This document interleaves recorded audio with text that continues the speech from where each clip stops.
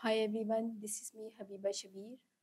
I welcome to the first video of C++ course. ये video आपकी coding journey का पहला स्टेप है and I am so excited कि हम लोग साथ मिलकर पढ़ेंगे। तो स्टार्ट करते हैं बिना टाइम वेस्ट किए। आई लेट यू नो कि आज की वीडियो में हम क्या क्या करने वाले हैं। सबसे पहले हम देखेंगे कि व्हाट इज़ प्रोग्रामिंग प्रोग्रामिंग है क्या? Why are we doing it हम इसे क्यों करते हैं? फिर डिस्कस करेंगे क्या प्रोग्रामिंग लैंग्वेजेस होती हैं और इनकी डिफरेंट टाइप्स और जो हम सीखने वाले हैं प्रोग्रामिंग लैंग्वेज इसके बारे में डिस्कस करेंगे। सबसे पहले ये देखते हैं कि प्रोग्रामिंग होती क्या है। वट इज़ प्रोग्रामिंग इसकी एग्जांपल मैं आपको टी से देती हूँ। सपोज़ मैंने किसी से चाय बनवानी है तो जिसे चाय नहीं बनानी आती। तो मुझे इसे कुछ इंस्ट्रक्शन देने पड़ेंगे ऑर्डर में कि पहले पत्ती डालो, पत्ती लो, इसमें पानी डालो, इसको चूल्हे पे रखो, इसमें दूध डालो और फिर इसको स्टेन करके कप में डाल के मुझे दे दो। अब ये स्टेप मुझे देने पड़ेंगे टू गेट टी अब सपोज़ मुझे कंप्यूटर से कोई काम करवाना है तो मुझे उससे भी कुछ सेट ऑफ़ इंस्ट्रक्शन देने पड़ेंगे, क्योंकि ज़रूरी नहीं कि इसे वो टास्क आता हो। जो मैंने मुझे करवाना है। मशीन को खुद तो कुछ नहीं आता। इसे बताना पड़ता है कि कोई भी चीज़ कैसे करनी है। सपोज़ अगर मुझे मशीन से थ्री प्लस फाइव ऐड करवाना है।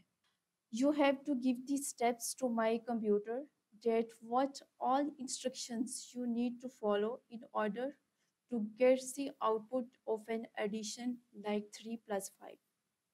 इसी को हम प्रोग्रामिंग बोलते हैं। जब हम सेट ऑफ़ इंस्ट्रक्शन किसी कंप्यूटर को देते हैं, ताकि हमारा टास्क कंप्लीट कर पाए, सिर्फ़ कंप्यूटर को ही नहीं, किसी भी मशीन को दे पाते हैं। इसे प्रोग्रामिंग बोलते हैं। और जो सेट ऑफ़ इंस्ट्रक्शंस हैं, इसे प्रोग्राम बोलते हैं। Programming is all around us आप देखोगे, जैसे वॉशिंग मशीन है रेफ्रिजरेटर है अलार्म क्लॉक है, ये सारी machines they are programmed to do a particular task. एक अलार्म क्लॉक है। एक अलार्म क्लॉक में मैं एक प्रोग्राम लिखा हुआ है, जिसमें वो इनपुट लेता है, जो भी हम टाइम सेट करते हैं। और इस टाइम को जैसे ही वो रीच करता है, इसको पता है कि इसने साउंड अलार्म बजाना है। This is written in format of program and it is given to the machine which is the alarm clock फिर वो टास्क जो हम चाहते हैं कंप्यूटर से वो कर पाता है। अब मैंने जिससे चाय बनवाई, उसको उर्दू में इंस्ट्रक्शन दी तो इसे समझ आ गई। इसने फॉलो करके मुझे चाय बना के दे दी। यही अगर मैं मशीन को देती हूँ उर्दू में तो क्या मशीन को ये समझ आएगा? नो मशीन को ह्यूमन लैंग्वेज समझ आती है। मशीन को सिर्फ़ दो लैंग्वेज समझ आती है, एक ज़ीरो और दूसरा वन मशीन को A B C one two three की कुछ समझ नहीं आता। ज़ीरो का मतलब है low voltage no current passing और वन का मतलब है high voltage high current passing machine language low level language होती है जो हार्डवेयर समझ पाता है। ज़ीरो वन की लैंग्वेज मशीन को समझ आती है मतलब अगर मैंने मशीन से थ्री प्लस फाइव ऐड करवाना है तो मुझे थ्री को कन्वर्ट करना पड़ेगा पहले ज़ीरो वन में, फिर फाइव को कन्वर्ट करना पड़ेगा ज़ीरो वन में सीरीज़ ऑफ़ जीरोस और वन की फॉर्म में इनपुट देना पड़ेगा थ्री और फाइव को, जो वो समझ पाएगा और कंप्यूट करके फिर आउटपुट देगा। अब ये जो मशीन लैंग्वेज है, इसमें कोड करना इजी नहीं है, क्योंकि थ्री प्लस फाइव ईजी है। अगर मैंने कोई कम्प्लेक्स कंप्यूटेशन करनी है तो उस चीज़ को ज़ीरो वन में कन्वर्ट करना पहले। This is very critical task that is very prone to error task जो मशीन लैंग्वेज में कोड लिखते हैं, इससे कहते हैं मशीन कोड एक मशीन के लिए स्पेसिफिक होता है। अगर मैंने अपनी मशीन के लिए कोड लिखा है तो वो आपकी मशीन पर नहीं चलता। Next we have assembly language assembly language are also low level language जो हार्डवेयर समझ पाता है। बट यहाँ पे हम ज़ीरो वन में डील नहीं करते। Every line of code correspond to a single machine instruction तो थ्री प्लस फाइव के लिए मैं इंस्ट्रक्शन दूँगी। एट थ्री प्लस फाइव यहाँ पे ये एट जो है वो मेनमोनिक्स है, जो एक मशीन इंस्ट्रक्शन के क्रॉसबोर्डिंग है। Machine will understand the need to add three plus five and compute the result for us assembly level language easy to understand है एंड रीडेबल है। इसमें एरर का चांस बहुत कम होता है। बट अगेन असम्बली लैंग्वेज किसी particular कंप्यूटर आर्किटेक्चर या फिर किसी पर्टिकुलर ऑपरेटिंग सिस्टम के लिए स्पेसिफिक है। Again this is not mutable तो अब जो थर्ड हमारे पास आती है लैंग्वेज वो है high level language high level language are more near to human language हमारे लिए इसमें रीड राइट करना अंडरस्टैंड करना इजी है। यहाँ पे हम इंग्लिश वर्ड का यूज़ करते हैं और ये मशीन लेवल लैंग्वेज डायरेक्टली नहीं समझ पाती। तो हम यूज़ करते हैं कंपाइलर का या इंटरप्रेटर का, जो हमारे हाई लेवल लैंग्वेज को मशीन में कन्वर्ट करता है and then machine is able to understandable ये सारी लैंग्वेज जो आप सुनते हैं C plus plus Java Python C sharp ये सब हमारी हाई लेवल लैंग्वेज है। तो हमने हाई लेवल लैंग्वेज और लो लेवल लैंग्वेज का कंसेप्ट ले लिया। अब हम देखते हैं हाई लेवल लैंग्वेज की types there are three types of high level language procedural functional and object oriented सबसे पहले हम देखते हैं procedural high level language procedural language में हमारा कोड जो है, एक सेट ऑफ़ प्रोसीजर की फॉर्म में लिखा जाता है, जो एग्जीक्यूट होता है इन अ स्ट्रक्चर एक सीरियल ऑर्डर में. तो जहाँ पे जो प्रोसीजर है, इनको सबरोटीन या फ़ंक्शन भी बोलते हैं। जो कि एग्जीक्यूट होते हैं जब इनको कॉल किया जाता है। तो इसकी जो C programming language is a classic example of procedural high level language next जो टाइप है वो है फंक्शनल लैंग्वेज हम फ़ंक्शन का यूज़ करते हैं सेट ऑफ़ इंस्ट्रक्शंस को कंबाइन करने, करते हैं इसमें। इसे एक फ़ंक्शन की फॉर्म में लिख लेते हैं। किसी स्पेसिफिक टास्क परफॉर्म करना हो, जैसे कि एडिशन के लिए अलग से फ़ंक्शन बना दिया सब्ट्रैक्शन के लिए अलग से फ़ंक्शन बना दिया डिवीज़न के लिए अलग से फ़ंक्शन बना दिया। फ़ंक्शन में हम कुछ इनपुट लेते हैं, जिन्हें बोलते हैं पैरामीटर्स अगर मुझे अपने कोड में थ्री प्लस फाइव ऐड करवाना है तो मुझे एडिशन वाले फ़ंक्शन को कॉल करना होगी और और पास करूँगी थ्री प्लस फाइव इन दो नंबर्स को एडिशन करके कंप्यूट करके रिज़ल्ट दे दे। ये वहाँ पे यूज़ करते हैं, होता है जहाँ पे सेम सेट ऑफ़ और डाटा पर काफ़ी ज़्यादा ऑपरेशन परफॉर्म करने हो। जो फ़ंक्शन है वो बेसिकली यूज़ होता है जहाँ पे हम लोग ने सेम सेट ऑफ़ डाटा पर काफ़ी ज़्यादा ऑपरेशन परफॉर्म करने हो and usually order of execution not defined इसकी जो एग्जांपल्स हैं वो है जावा स्क्रिप्ट पाइथन ये फंक्शनल लेवल लैंग्वेज की एग्जांपल्स हैं। Next we have object oriented यहाँ पे हम ऑब्जेक्ट और क्लासेस का यूज़ करते हैं। Object represent real life entities classes क्या होती हैं? कि क्लासेस यूज़र डिफाइंड प्रोटोटाइप है, जिससे हम कुछ सिमिलर ऑब्जेक्ट्स क्रिएट कर सकते हैं। Similar in the form watch जो प्रोटोटाइप बनाया है हमने क्लास का, इसकी कुछ एट्रीब्यूट्स प्रॉपर्टीज़ कुछ मेथड्स डिफाइन कर सकते हैं। और वो सारे एट्रीब्यूट्स मेथड्स प्रॉपर्टीज़ वो सारे ऑब्जेक्ट्स में होने चाहिए। ऑब्जेक्ट ओरिएंटेड प्रोग्रामिंग की रीयूजबिलिटी बहुत ज़्यादा यूज़ होती है। इसको हम नेक्स्ट लेक्चर्स में डिटेल में पढ़ेंगे, क्योंकि C plus plus object oriented programming language है। Some other object oriented programming languages are Java C sharp तो अब बात करते हैं सी प्लस प्लस की वो लैंग्वेज जो हम सीखने वाले हैं C plus plus is very popular language जो कि ऑब्जेक्ट ओरिएंटेड प्रोग्रामिंग लैंग्वेज है but it also has support for procedural programming C plus developed by Bejarde Strostrup in 1979.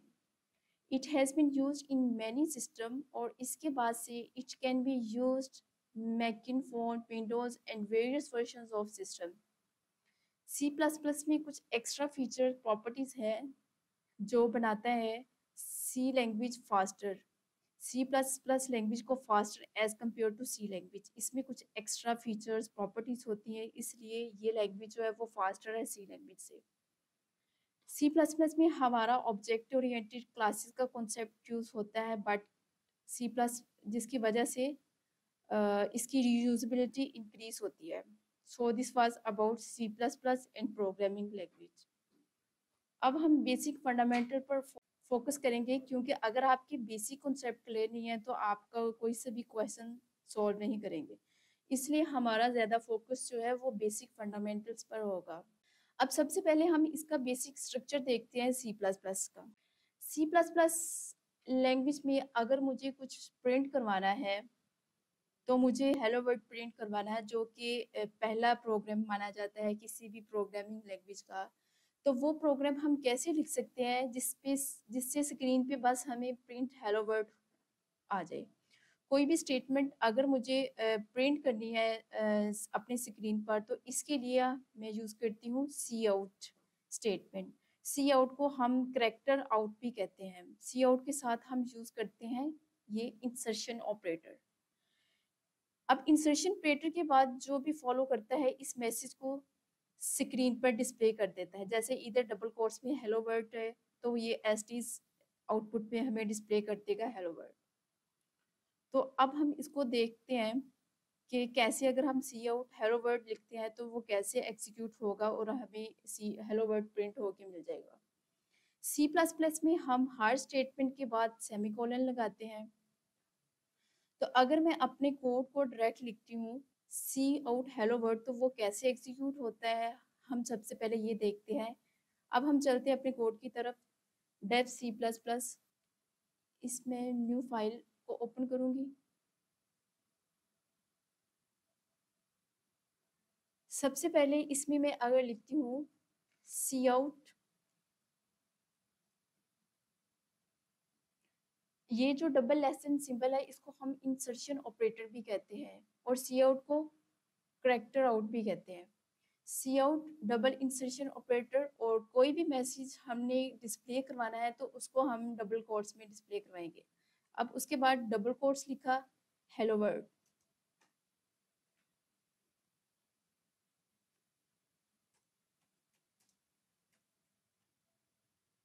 उसके बाद हम लोग सेमी कॉलन लगा देंगे। अब इसको हम सेव करते हैं किसी भी नेम से। अब इसको एग्जीक्यूट करते हैं।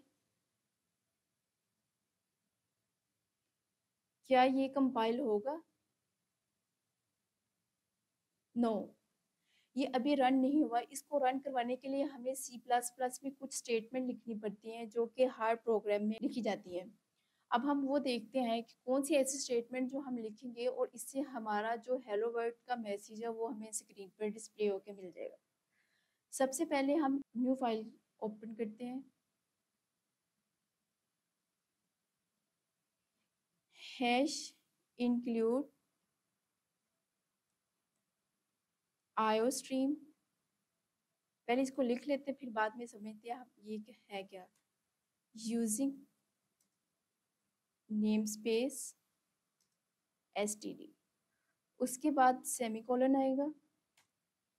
इंट मेन, फिर curly brackets open and close. अब उसमें हमने ए मैसेज को डिस्प्ले करवाना है, C out, double quotes, hello world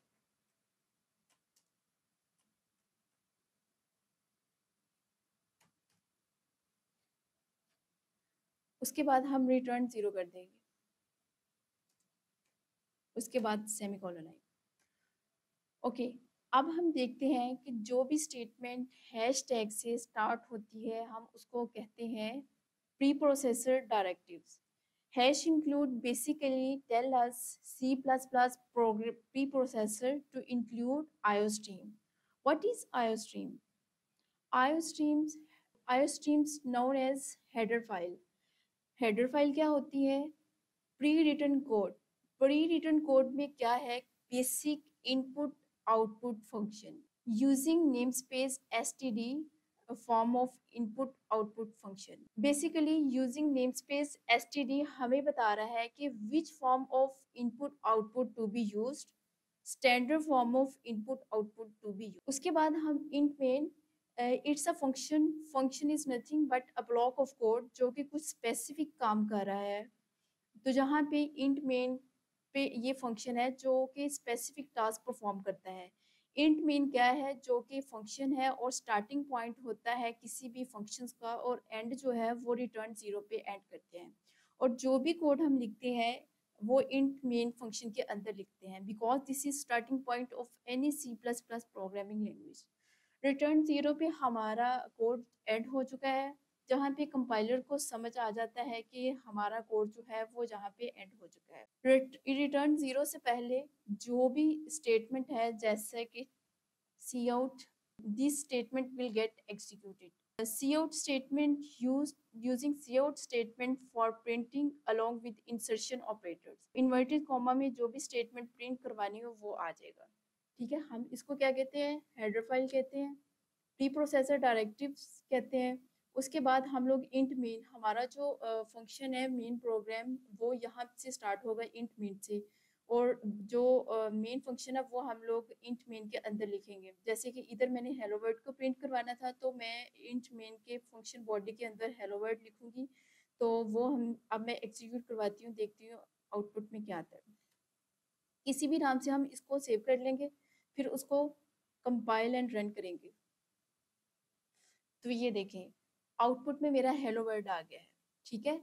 और आपने कोई भी मैसेज को डिस्प्ले करवाना है तो उसको डबल कोट्स में लिख के फिर डिस्प्ले करवाना है। रिटर्न ज़ीरो इसलिए आया क्योंकि रिटर्न ज़ीरो हम इसलिए इधर लिखा है कि इसकी वैल्यू जो है वो इंटीजर में वैल्यू को रिटर्न करता है, इसलिए हम रिटर्न ज़ीरो लिखते हैं। उसके बाद हम लिखते हैं print